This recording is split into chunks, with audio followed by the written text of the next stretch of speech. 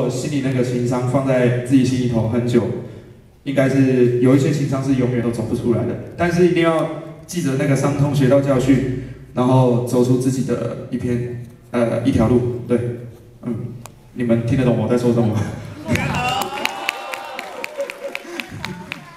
不好意思，我不会说粤语。呃，我只会说谁手刚而已。谁烧刚？还是我朋友教我的，所以我不会讲了。啊，如果听不懂的话，多包涵。下一首歌。